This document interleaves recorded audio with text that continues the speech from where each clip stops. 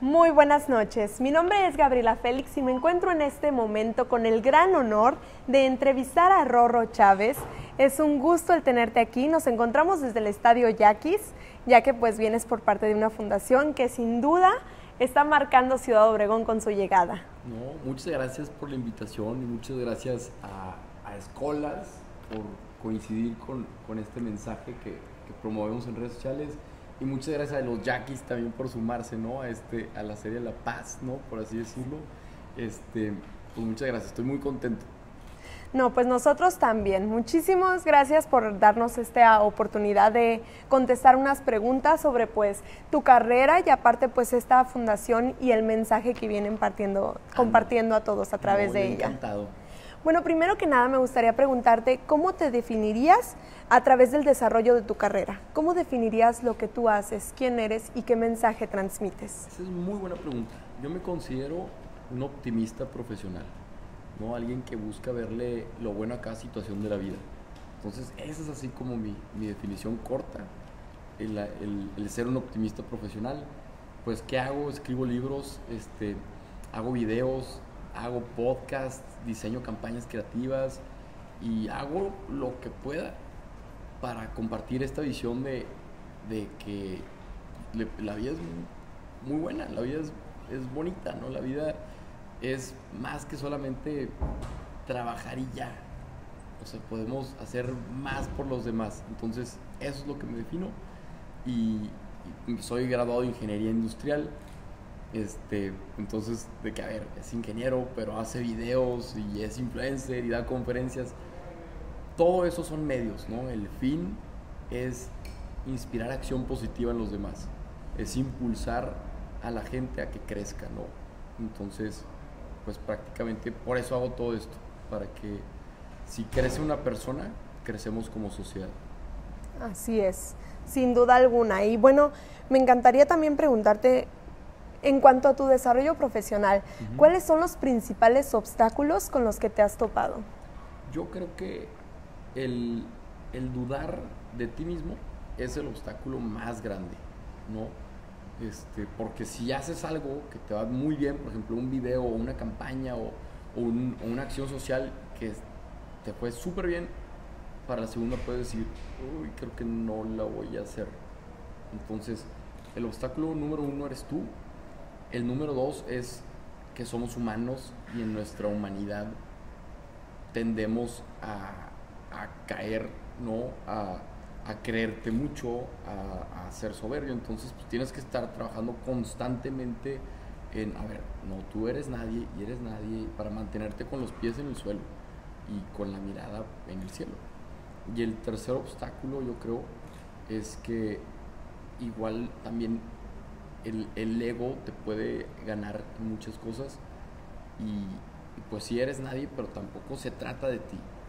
Se trata, yo que soy católico, se trata de, del mensaje de Dios. Otros sí creen en, lo que crean, pero se trata de, del amor, se trata del fin, no se trata de uno mismo. Entonces esos tres obstáculos son los que con los que me he enfrentado y con los que me enfrento, pues porque están dentro de mí, por así decirlo. Ya los obstáculos, los demás, los que te presenta el mundo, pues de una u otra manera los superas, pero los que tienes siempre contigo, ahí estás constantemente luchando contra ti mismo. Y esto le pasa a la mayoría de las personas, principalmente a los jóvenes, ¿no? El dudar de, una u otra manera de sí mismos. Y todo se basa en los valores, en los valores que tenemos y en los valores en los que se nos ha criado. ¿Tú crees que esa es la principal eh, causa de que estos obstáculos se formen dentro de nosotros? Pues yo creo que coincido completamente.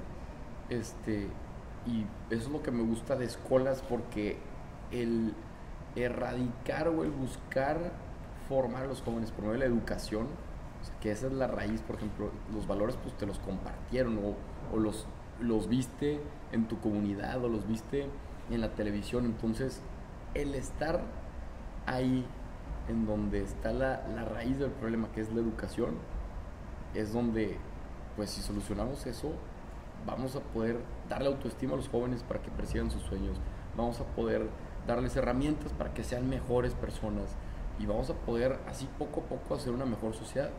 Entonces ahí es donde me encanta que la Fundación Escolas, que preside nuestra santidad, está atacando eso de raíz con eventos deportivos, con eventos culturales y con todo tipo de eventos pues, para llegarle a los jóvenes ¿no? y, y transmitirles esos valores que tanto hacen falta. Así es, sin duda alguna. Y bueno, me encantaría también preguntarte ahorita que estamos hablando de Escolas, que es la fundación pues del pontífice. Entonces, pues me encantaría preguntarte cómo llegaste ahí, cuál fue tu primer acercamiento a Escolas. Me buscaron tal cual. Yo llegué a ver así en el, en el Instagram tal cual, para que, para que vean el poder de las redes sociales. Sí. Y vi que, que el Papa tenía una fundación.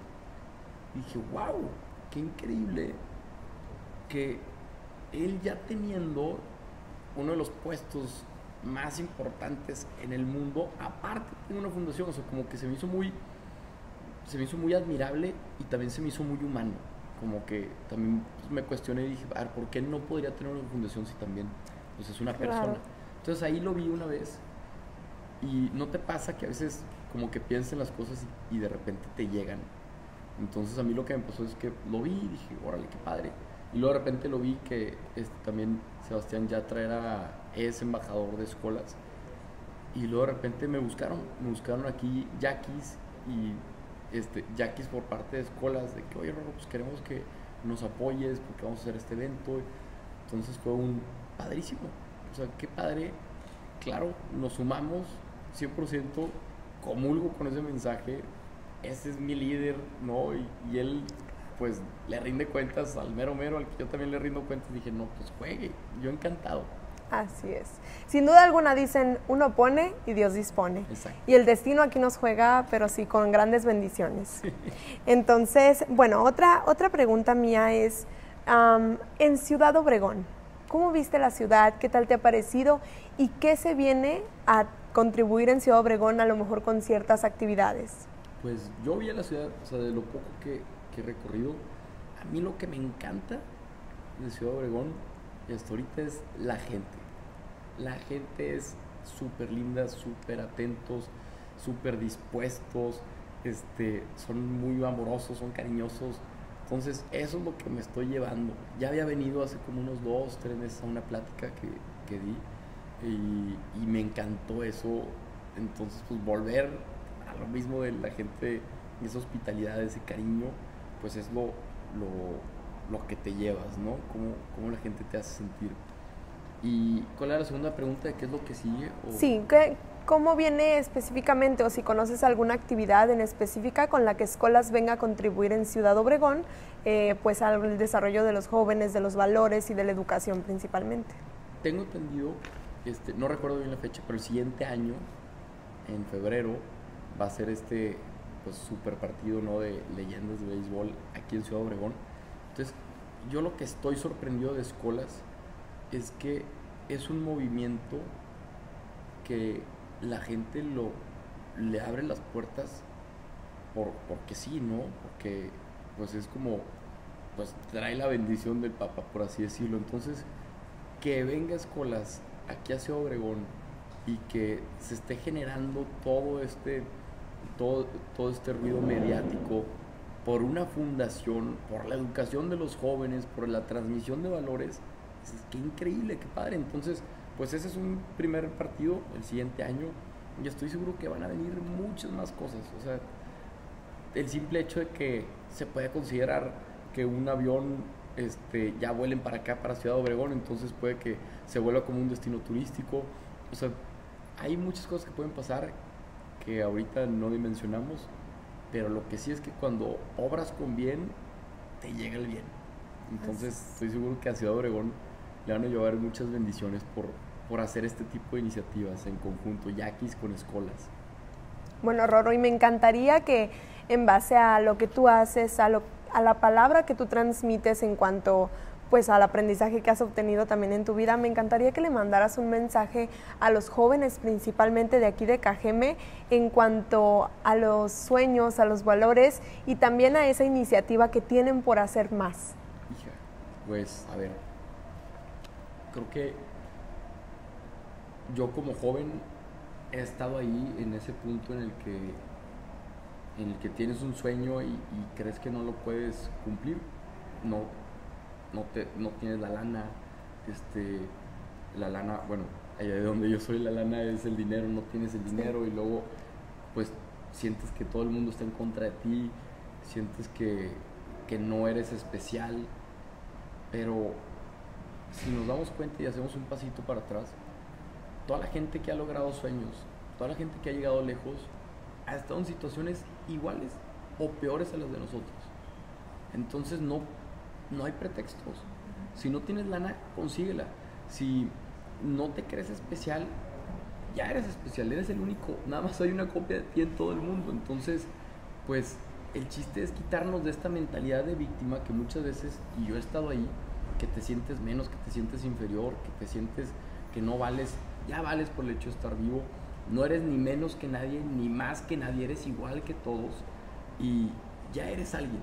Entonces, a partir de ahí, salte de esa mentalidad de víctima, entra a la mentalidad de, protagonista, que es hazte responsable de tus cosas, consigue lo, lo, que necesites, en vez de estar viendo los problemas, ve a lo que quieres llegar y ve por ello, haz equipo y deja de soñar y empieza a hacer tu sueño realidad.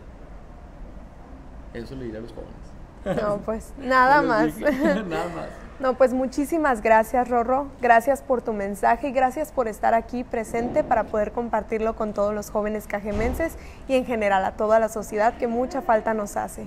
si gustas, si gustas también compartirnos tus redes sociales en donde te podemos seguir o comunicarnos contigo, también estaría excelente. No, perfecto. Este, pues mis redes me llamo Rodrigo E. Chávez, pero todo el mundo me dice Rorro desde chiquito, entonces con confianza díganme Rorro. Y en mis redes sociales me tengo como Rorro E. Chávez, R-O-R-R-O E. Chávez, así mero. De hecho aquí lo tengo en la camiseta, ahorita hacemos la toma para que salga. Y, y ahí estamos en todas las redes compartiendo este mensaje de crecimiento personal, donde lo que buscamos es impulsar a las personas para que puedan hacer, ser más y ser mejores y si uno es mejor, puede aportar más a los demás. Excelente. Muchísimas gracias y pues ni hablar, hay que seguir ese mensaje al pie de la letra. Ándale, perfecto Gaby. Muchas gracias. A ti. Cuídense mucho.